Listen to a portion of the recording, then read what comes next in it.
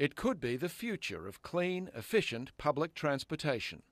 Called Navia, the electric powered self driving shuttle is a collaboration between the Nanyang Technological University of Singapore and French company Induct, represented by marketing director Max Lefebvre.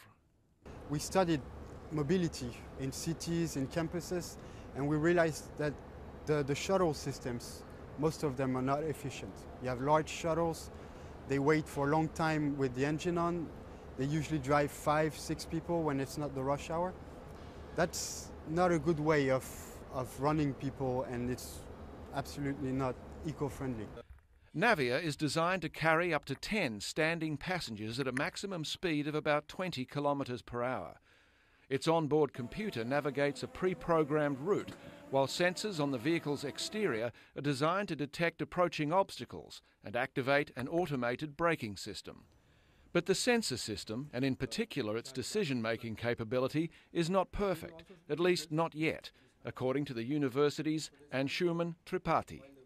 This decision making gets hindered when we have very heavy rains or when we have uh, snowing weather and so on and so forth. So we are also working on developing more uh, prominent sensor network.